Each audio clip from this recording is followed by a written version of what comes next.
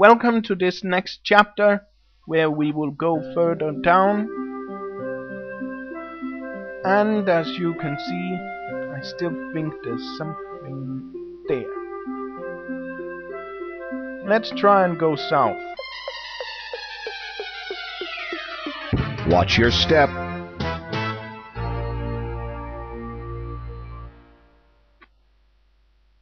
Whoops.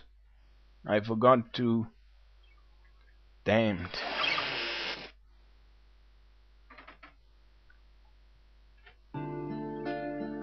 Well, we must go back.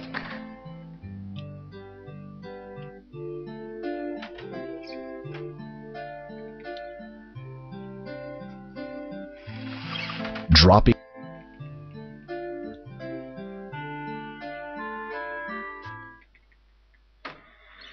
The cat. The despicable.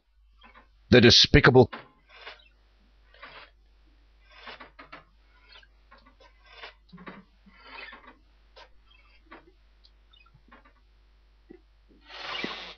Nimbly, you. You managed to.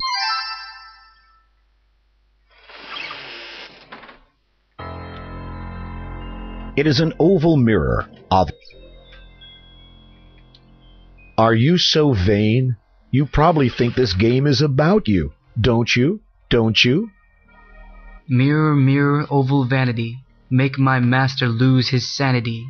He appears if I am slack, angry, mean, in cloaks of black, and orders me to do his bidding. I want out. You must be kidding. Strangely enough, in the close-up, You take the wizard's hand mirror. mm, you have another a color the clothes on your You search the pockets of the black cloak. Suddenly Yes. you discover a small brass key. What could it unlock? You search behind the clothes hanging in the wizard's closet. You're startled to discover an ancient parchment scroll. Its ink has faded, but it seems to be a map. Taking this treasure, you leave everything else exactly as it was.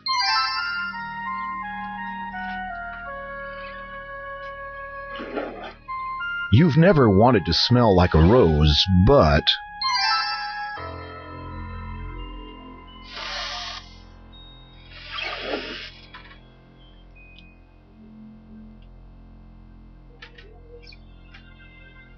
There, we got it. It isn't much backtracking. You must remember to, save a lot often. I hate this fact that we have to take a lot of these things which we already had and in the previously chapter. But then again, that's too hard. You pick up the chicken. You gently pluck a feather from the chicken and gently set it back on the ground. Where would you put it?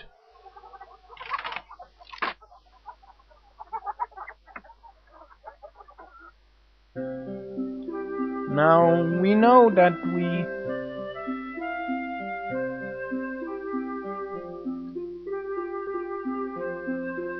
that if we go directly down then we will not.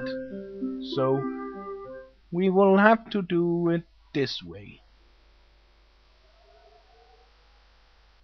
I still think we go a little too slow sometimes. So maybe it's best to speed things up a little. And then we're down from the mountains now it took a little longer than it normally would have due to my lack of true of saving at the correct moment. But thanks for now.